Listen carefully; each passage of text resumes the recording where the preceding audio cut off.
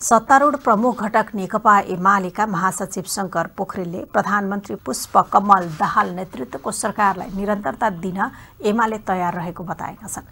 मुलुकलाई ओह्रालो यात्राबाट सुरक्षित भविष्यतर्फ डोहोर्याउने कुरा नै एमालेको प्राथमिकताको विषय भएकाले राम्रो काम गर्दासम्म वर्तमान सरकारलाई नै निरन्तरता दिन एमाले तयार रहेको महासचिव पोखरेलको स्पष्टीकरण रहेको थियो।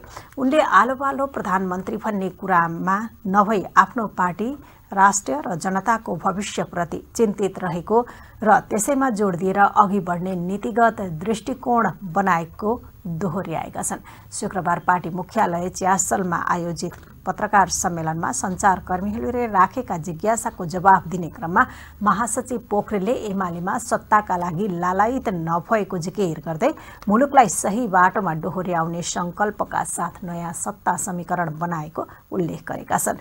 उनले मुलुकमा लोकतन्त्र र परिवर्तनमाथि सङ्कट आइपरे एमाले कङ्ग्रेससँग पनि मिलेर काम गर्ने मान्यता राखेको बताएका छन्। सत्ताका लागि चाहिँ लालायत छैन। पहिले पनि हामी सत्ता हाम्रो लागि प्राथमिकता होइन। मुलुकलाई सही बाटो डोर्याउने खालको कुरा प्राथमिकताको विषय हो भनेका थियौँ। अहिले पनि हामी नयाँ सत्ता समीकरण गर्दाखेरि चाहिँ फलानु महत्त्वपूर्ण मन्त्रालय चाहिन्छ भनेर हामीले दावी गरेनौँ। मुलुकलाई ओह्रालो यात्राबाट चाहिँ सुरक्षित भविष्यतर्फ डोर्याउने कुरा नै प्राथमिकताको विषय हो। नीतिगत हस्तक्षेप प्राथमिकताको विषय हो भन्ने अर्थमा हामीले चाहिँ प्रस्तुत गर्ने खालको काम गरेका छौँ। कतिपयले सोध्ने गरेका छन् आलो पालो भनेर चाहिँ सोध्ने गर्दछन्। हामी यो सरकारले राम्रो काम गर्छ भने चाहिँ यसलाई निरन्तरता दिन तयार छौँ भनिरहेका छौँ।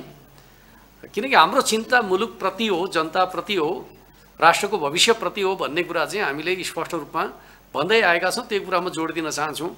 कङ्ग्रेससँग त हामीले स्वाभाविक रूपमा चाहिँ जति बेला मुलुकमा लोकतन्त्रमाथि सङ्कट आउँछ त्यति बेला परिवर्तनमाथि सङ्कट आउँछ त्यति बेला मिलेर काम गर्नुपर्दछ भन्ने मान्यता राख्दै आएका छौँ। महासचिव पोखरेलले राष्ट्रको भविष्यलाई ध्यानमा राखेर एमाले नयाँ सत्ता समीकरण बन्दा पनि महत्त्वपूर्ण मन्त्रालय लिने कुरामा अडान नराखेको बताएका छन्।